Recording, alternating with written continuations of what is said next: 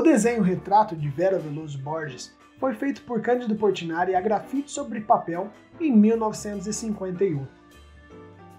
Assim como em outros trabalhos do artista, o desenho serviu de estudo para uma tela produzida a óleo, e há ainda um estudo intermediário entre o desenho inicial e a obra final.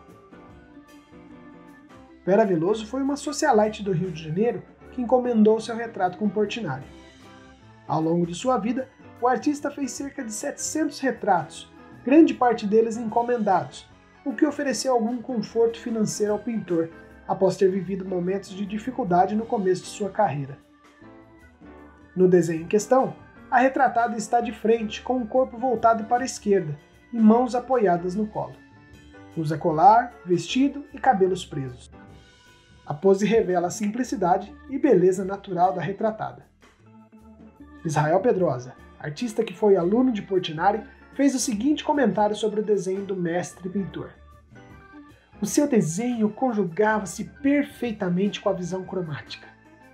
Ele viu o desenho como uma disciplina independente. Seus desenhos não são somente traços ou estudos para uma pintura em cor. Tem vida independente.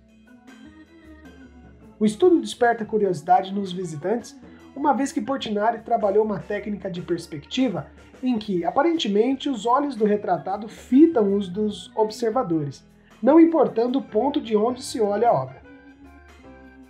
Faça o teste aí onde você está. Olhe da direita, da esquerda, do centro.